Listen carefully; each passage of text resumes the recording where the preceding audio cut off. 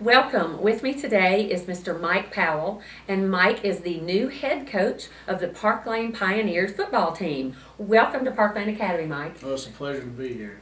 Well, it's just been in all the papers. Parklane's looking for a new head football coach, so congratulations to you. You are a Parklane graduate. Tell us when you graduated. I graduated in 1996 and um, played football for Coach Newell and Ken Jackson and uh, Dan Lumen and those guys. Tell us where are you coming from coaching wise to Parklane? I'm coming from Brookhaven High School. It's a 5A public school in uh, Lincoln County, Mhm. and I'd been there seven years. Uh, I've been the offensive coordinator there, and uh, before prior to that, I coached in Louisiana for four years at Franklin High School. So that's my, my coaching background.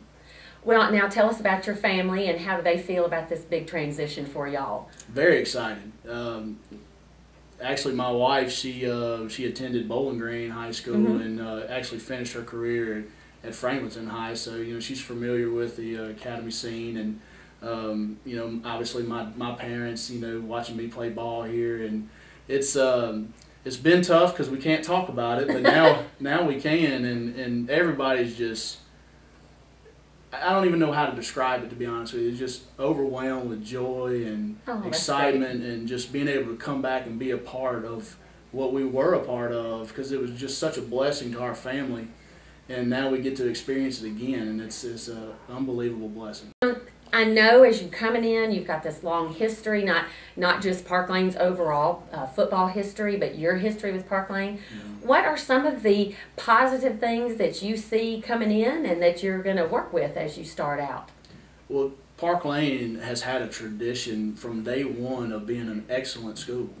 Uh, academics, faith, um, athletics. Uh, so I'm walking into a situation uh, where expectations are high, and, and that's the challenge. That's the part of it I love, and realizing that this school is, um, you know, they want to be winners, and they want to be good in academics, and they want to be good in their faith, and that's what I want to be a part of, and that's what's positive about this place is the tradition, the culture.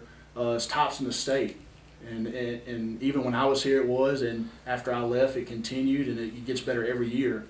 And so when the opportunity came up, it was really a no-brainer. I, I got to get back involved and be a part of, of what's great.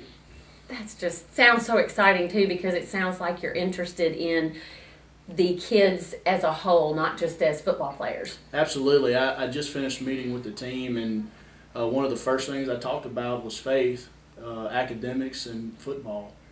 Um, obviously, faith is uh, more important than anything, and you know they're here ultimately at Parklane to receive an education and uh, have the privilege of playing football while doing that. And that will be our number one goal is to make sure our our student athletes are getting the best education they possibly can receive uh, in the state, and uh, hopefully winning a bunch of football games while doing it. and having some fun too. That's right. I don't know How you could have said that any better? Well, we are so looking forward to you being here.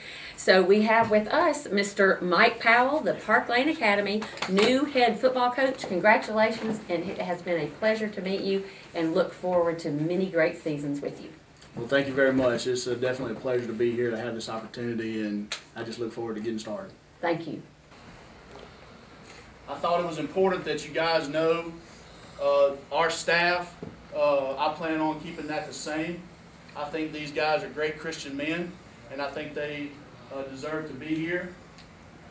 And so there is no plans of changing our staff. Uh, and I told them in our coaches meeting, uh, as of right now, I don't plan on bringing anybody. Uh, I will take over the offense. That's my forte, I guess you would say. Uh, I'm, a, I'm sure you can tell by body type, I was an offensive lineman. Um, but we'll figure out who's coaching what and who's doing, but I will be running the offense. I'm a spread offense guy. Uh, I like getting it in three wide, two back, under center, and hammering folks also. Expectations. Probably more important than anything else this offseason is that you handle your grades. It is very important that you take care of that because let me tell you what happened. Uh, two years ago, uh, Brookhaven, we played for the 5A state championship up in Jackson.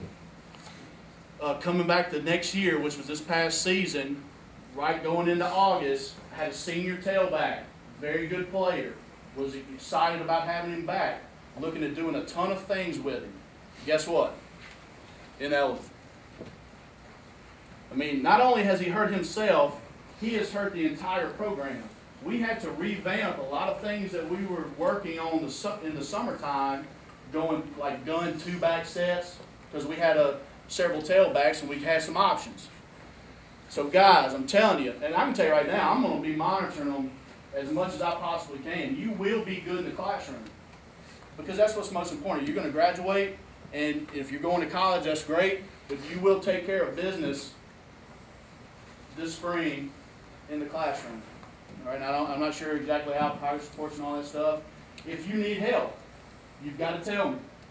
I, and I told the coaches in the staff meeting, if there's a problem and I don't know about it, can't fix it, can I? I can't.